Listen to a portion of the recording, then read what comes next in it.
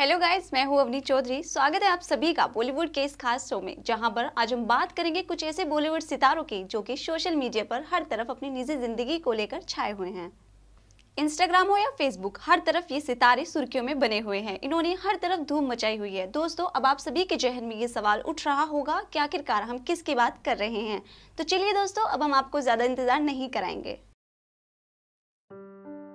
हम बात कर रहे हैं नेहा कक्कड़ की, जो कि अपनी आवाज़ के ज़रिए लाखों और करोड़ों दिलों पर राज करती हैं।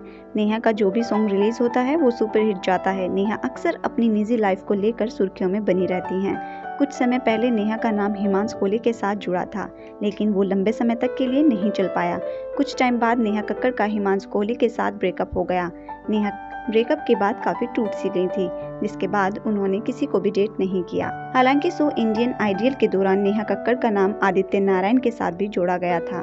इन दिनों दोनों की शादी की खबरें काफ़ी सामने आने लगी थी। हालाँकि कुछ समय बाद ये बात साफ़ हो चुकी थी कि ये खबरें महज अफवाह थी।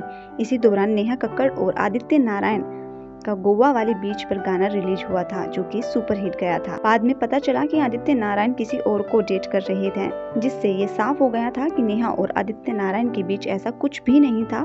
खास बात यह है कि नेहा कक्कर की लाइफ में उनके स्पेशल पर्सन की एंट्री हो चुकी है। आप सभी को बता दें कि नेहा कक्कड़ के एक्स बॉयफ्रेंड हिमांश कोहली के ब्रेकअप के बाद नेहा काफ़ी टूट सी गई थी, लेकिन अब नेहा कक्कड़ रोहनप्रीत सिंह को डेट कर रही थी। ये वही रोहनप्रीत सिंह है जो सहनाज गिल के शो, मुझसे शादी करोगी में नज़र आए थे। रोहनप्रीत सिंह पंजाबी इंडस्ट्री के जाने माने सिंगर हैं। नेहा कक्कर ने इस बात का खुलासा उनके इंस्टाग्राम के आईजीटीवी स्टोरी पर किया था। जिसमें रोहनप्रीत सिंह नेहा कक्कर को डायमंड द छल्ला सॉन्ग पर रिंग पहनाते हुए नज़र आए। इस वीडियो के कुछ टाइम बाद ही रोहनप्रीत सिंह और नेहा कक्कर की चर्चा सीधा शादी तक पहुँच गई थी। इस खबर को सुनकर हिमांश कोहली का भी रिएक्शन आ चुका है, जिसमें उन्होंने कहा है कि ये अच्छी बात है कि नेहा कक्कड़ अपनी लाइफ में मूव ऑन कर चुकी हैं। आपको बता दें कि रोहनप्रीत सिंह की उम्र 25 साल है तो वहीं नेहा कक्कड़ की उम्र 32 साल है। खुशी की बात ये है कि फाइनली नेहा और रोहनप्रीत सिंह एक दूसरे के साथ शादी के बंधन में बन चुके हैं। हालाँकि अब नेहा कक्कड़ की ज़िंदगी में खुशियाँ ने दोबारा से दस्तक दे दी है। आज वो अपनी ज़िंदगी में बेहद खुश हैं।